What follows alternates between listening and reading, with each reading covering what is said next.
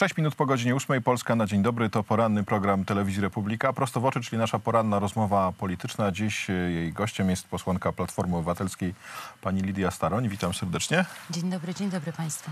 Chciałbym zacytować na początek taką wypowiedź wiceministra zdrowia Sławomira Neumana na temat e, dopalaczy, który mówi tak. Jeśli ktoś chce się otruć, to można na uszach stanąć i nic się nie zrobi. Jutro może ktoś wejść do toalety, wypić domestos. Jest idiotą, wypije. Dopalacz jest takim samym e, świństwem. E, Młodzi ludzie robią sobie krzywdę na własne życzenie. E, To jest wypowiedź jednego z przedstawicieli obozu władzy.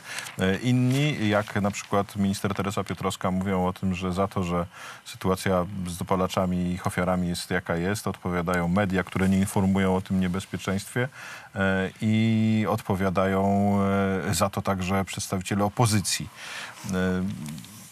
Kto odpowiada za zamieszanie z dopalaczami w takim razie i w jaki sposób można pomóc tym, którym ta pomoc jest potrzebna? Czy powinniśmy łapać tych, którzy używają, tych, którzy handlują, tych, którzy To znaczy na nie uchwalili stosownego prawa na, na, na, Na czas? pewno powinniśmy walczyć z osobami, y, które rozprowadzają, które handlują.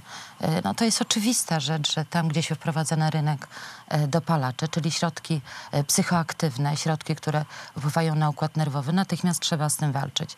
Y, I powiem w ten sposób, ta ustawa, która weszła teraz od 1 lipca, y, to jest ustawa, która w pewnej części, nie do końca, ale w pewnej części tą sytuację y, Mówi winna pani poprawić. o ustawie, która zmienia kwalifikacje Tak, o przeciwdziałaniu, nar- tak, o e, przeciwdziałaniu chemicznych. narkomanii. Natomiast e, ja to jest, i to jest moje osobiste zdanie, uważam, że tą sytuację w ogóle trzeba odwrócić, bo my teraz cały czas e, tak jakby no, gonimy królika, czyli zastanawiamy się, co zrobić, jakie jeszcze na tą listę e, wprowadzić środki, prawda? I uprzedzają e, nas osoby, czyli przestępcy, To jest zwykli wyścig, no przestępcy. bo tak. Przestępcy zastanawiają się, co by tu nowego e, tak, bo my, sprzedawać. jeżeli już e, jest ustalony jakiś środek, wprowadzamy na listę, to przestępcy z nami walczą i wprowadzają nowe. Więc tą sytuację trzeba odwrócić.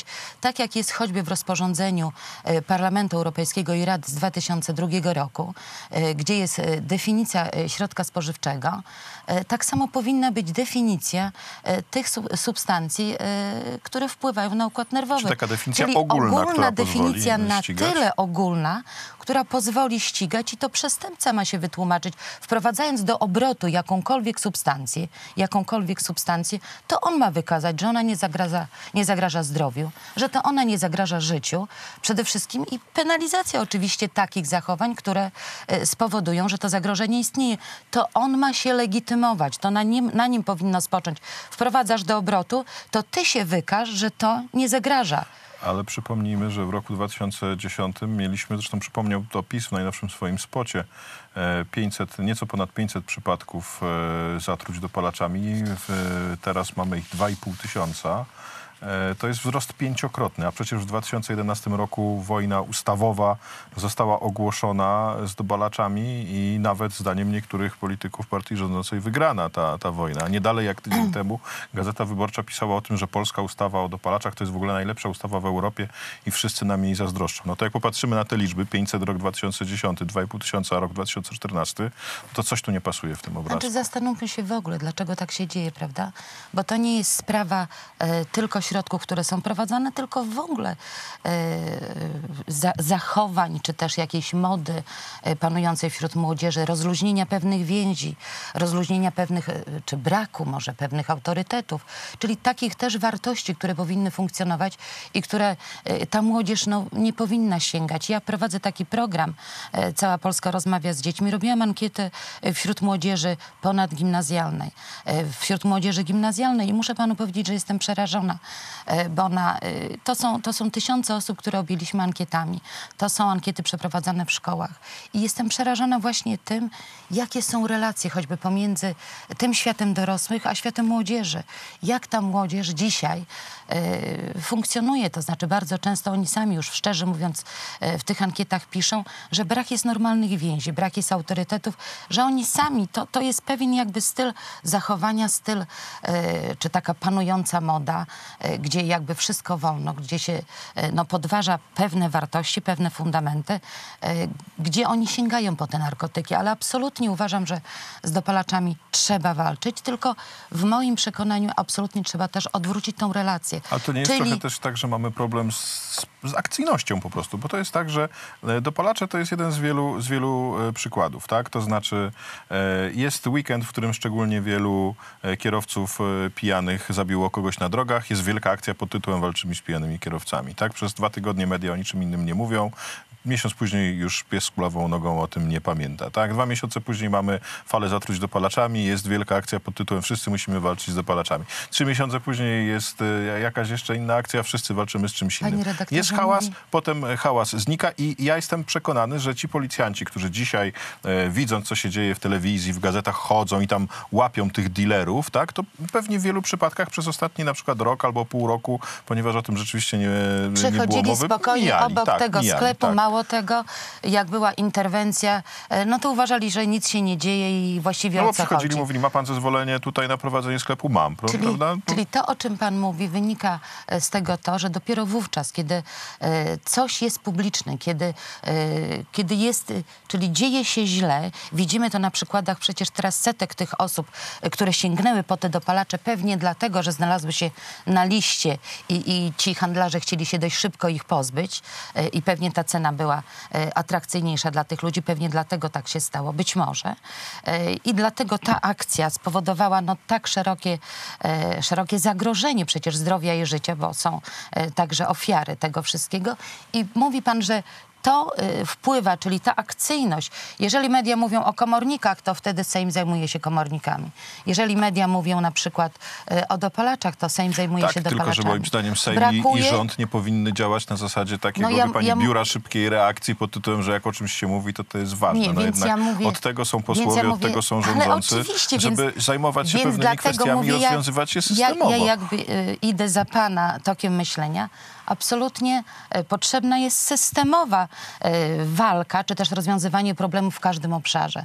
Bo dzisiaj na przykład nie mówimy choćby o sprawie, y, sprawie no, niesprawiedliwych wyroków sądowych. Nie mówimy dzisiaj y, o sprawie no, pokrzywdzonych spółdzielców, prawda? A ta sprawa istnieje. Ta krzywda istnieje i nią też się trzeba zajmować.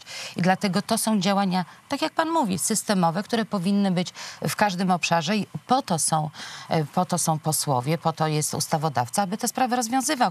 Dzisiaj mówimy o dopalaczach i dlatego ja mówię o swoim zdaniu, zresztą pisałam interpelację na ten temat, że odwracać trzeba sytuację i natychmiast te osoby, wprowadzając definicję, te osoby, y, które no przecież czerpią z tego korzyści, bo oni zarabiają na tym, to one powinny wykazać, że to jest środek, który szkodzi lub nie. Jak szkodzi, nie wolno, jest penalizacja, koniec, kropka. A nie my jeszcze mamy płacić za to. To na To- koniec jeszcze chciałem skręcić... e, e, Natomiast od, oczywiście trzeba wszystkie problemy rozwiązywać systemowo i po to jest ustawodawca, aby je rozwiązywał. Od dopalaczy do czystej polityki na moment chciałem skręcić e, na koniec. E, Kiedy w okresie wakacji przyjdzie ten moment, kiedy rząd się wybierze na wyjazdowe posiedzenie do Olsztyna, czyli do m, okolic, których jest pani mojego posłanką? okręgu tak? wyborczego. Mhm. To znaczy, ja powiem panu tak, moje biuro inten- bardzo intensywnie pracuje.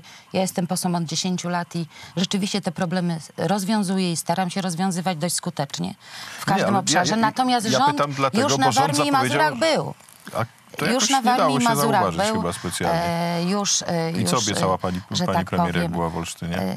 Ja nie wiem, co obiecała pani premier, jak była w Olsztynie, e, dlatego że chyba, e, nawet nie wiem, czy była w Olsztynie, bo była chyba w Gierzycku, e, w Iławie i, i gdzieś tam jeszcze no, w to była taka rejonie. wycieczka do harcerza, a nie ten, to posiedzenie wyjazdowe rządu, tak jak w Katowicach czy w rząd Łodzi. no, jest od tego, żeby pracować systematycznie, jest od tego, żeby rozwiązywać realne problemy, o których my mówimy.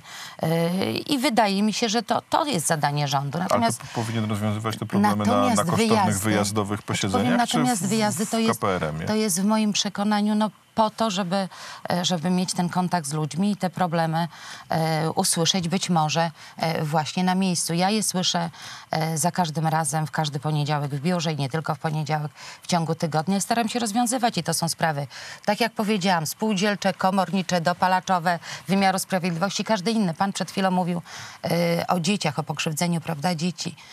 Więc też takie sprawy trafiają i te sprawy absolutnie trzeba rozwiązywać, bo to nie zawsze też jest sprawa ustawodawcy, nie niestety, ale bardzo często sądu.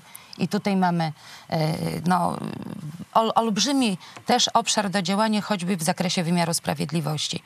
I tutaj też choćby sprawa rewizji nadzwyczajnej czy kolejnych rzeczy, które, które trzeba wprowadzać. Mówiła Lidia Staroń, Platforma Obywatelska, która chyba trochę z tego, co państwo jak słyszeli, tak w wielu miejscach nie pasuje do Platformy Obywatelskiej.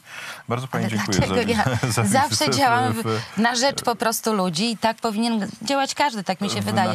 To jest misja posła. E, Prosto w oczy polityczna rozmowa dnia o poranku już za nami i kwadrans po ósmej, czyli czas na najważniejsze informacje.